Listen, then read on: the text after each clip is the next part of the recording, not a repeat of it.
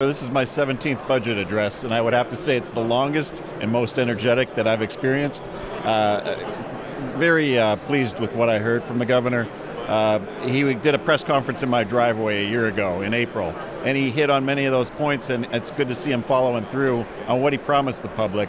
Much of this is geared towards working people and uh, relief for uh, seniors with taxes and everything else. So I'm very, uh, very happy to hear what uh, Governor Shapiro laid out today. And uh, oftentimes, what's presented today is very different in June, but uh, I think that he's at least trying to bring us all together.